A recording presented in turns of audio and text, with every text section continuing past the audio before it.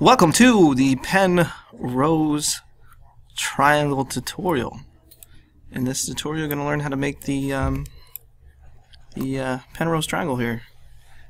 I'm uh, really excited about this lesson because I absolutely love the shape and I think it's one of the coolest shapes um, ever created. So the Penrose Triangle is one of the impossible shapes. Uh, when you have it in this perspective, it looks like it's uh, together, but it's really not. If I were to click on the home view, it's really just that shape. Um, but if you put it in the right view, you can, um, you know, make it look like this. So uh, let's go ahead and start a new part in Autodesk Inventor.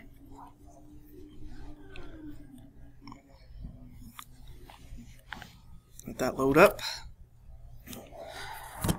and we're going to do this in millimeters so go to tools document settings units change the length to millimeters apply and close. And 3D model go ahead and click on 2D sketch.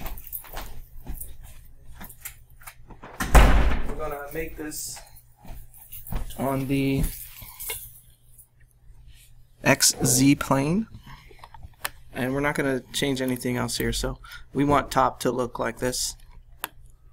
Click on your rectangle tool make a rectangle that is 10 millimeters by 60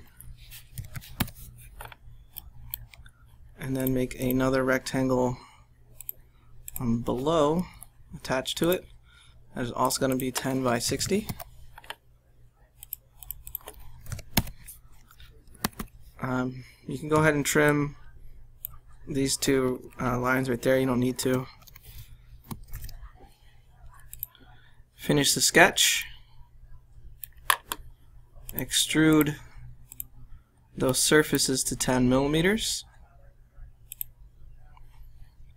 And then in the, um, the view box, click on right and then turn it once on its side like that right click new sketch click the rectangle tool again draw a rectangle that is 10 wide and between this surface right here and this line right here that's going to be 30 millimeters okay. click on your line tool from this corner I'm going to click and make an angled line just like that. We're going to dimension this angle to 135 degrees. So click on dimension, click on this top line, and then click on this line, and make that dimension 135 degrees. Just enter. Uh, select your line tool again, and draw a line from this corner past it. And we'll use the trim tool or press X on the keyboard to trim up these lines You can finish that sketch. Clicking on home. We're going to extrude that, those shapes uh, in this direction, not a cut, to 10. And click OK. Um, before I get it into view, I can go to the default settings here and change my color. And then if I click in this top corner right here, I get the Penrose triangle. If I click on the orbit tool and put my mouse on the outside left, I can rotate it to make it uh, upright. If I hold shift and rotate and let go, it'll just rotate in space by itself, which I think is pretty neat.